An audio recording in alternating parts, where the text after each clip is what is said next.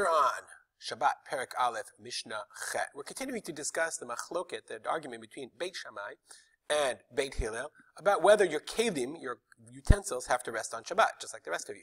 So the Mishnah says, and this actually, this Mishnah actually dovetails and leads into a fascinating issue which has real halachic relevance today, which I'll explain. It says the Mishnah, Beit Shammai Omri, Beit Shammai says, Ein notnim orot le'abdan. You can't give your skins to the tanner, velo kelim, nor your clothing, the koves nochri, to a non-Jewish uh, washer person, you know, a clothes washer. Ela kadeshi yasu mi yom. Unless kadeshi yasu is a very relevant, important halacha, uh, halachic term. Kadeshi yasu means unless there's enough time for them to at least complete the task, mi yom, during the day. They don't have to actually do the task, but it has to be kadeshi yasu. They have to have enough time in order to do it.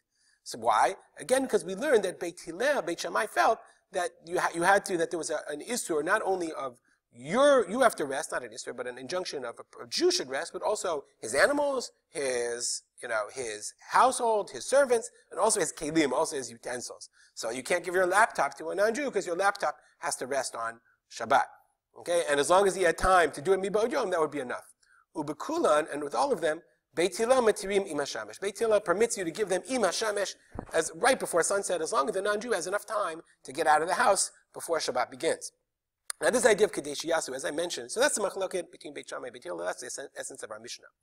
But this idea of Kadesh Yasu does have important halachic relevance. I'm going to turn to, there's a site, this is the, the site of Rab Melamed, Rav Eliezer Melamed on uh, Atar Yeshiva. I'm showing you, it's uh, yeshiva.org.il.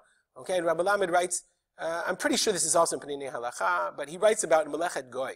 So there's, a, there's an Isur, a person is not allowed, uh, the, the Rabbanan made a Gzeira, the Chazal made a Gzeira, and they said a person is not allowed to ask a Goy to do work for you on Shabbat.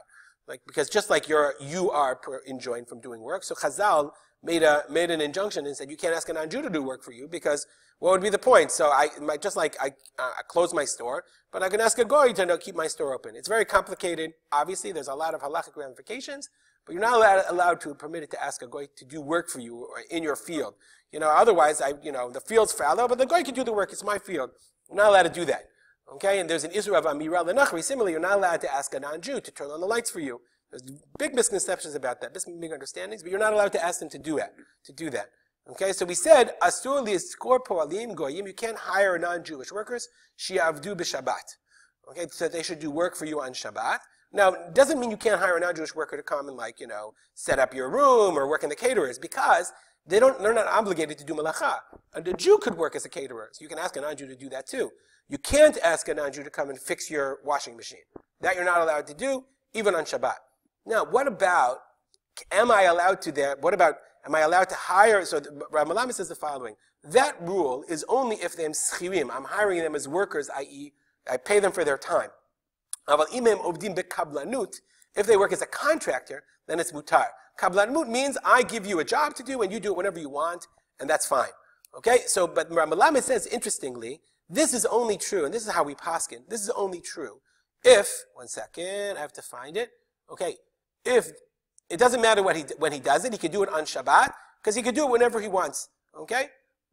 וכיוון שהגוי יכול להספיק לבצע עבודה gam below la'avod b'Shabbat. Because the goy can do this work, even, I'm going to see if I can make this a little bigger. One second. Since the, since the goy, uh, the, the, the, site doesn't allow me to show the whole site. It's not mut'am. It's not, doesn't, okay, I'll just read it if you can see it. I apologize if it's too small. He says, since the goy doesn't have to work on Shabbat, he can fix my car on Friday, he can fix it on Sunday. If he worked on Shabbat,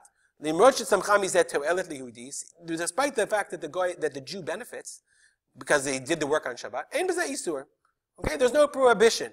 But Rabbi Melamed points out what I can't do is the following: Asur Yehudi lebakesh migoy biyom shishi I can't ask the guy, I can't go to the guy, five minutes, I can't bring my, my, my clothing to the cleaner, it's five minutes before Shabbat, and say to him, I need this on Saturday night, I got an event Saturday night. This halacha is not based on our Mishnah of Beit Shammai. We're not passing it like Beit Shammai. We don't hold, my, my clothing, can, somebody can do malacha. But I'm not allowed, there's a prohibition of Amir al I can't ask a non-Jew to do malacha for me. And if I, if I've got to have the car fixed and I bring it to him five minutes before Shabbat, and it's got to be done right after Shabbat, then essentially, even though he's a kablan, I'm essentially asking him to do malacha for me on Shabbat. Okay, in that case, in order for me to be permitted and not violate the Isur of Amira Lenachri of the Rabbanan, then I need Kadesh Yasu.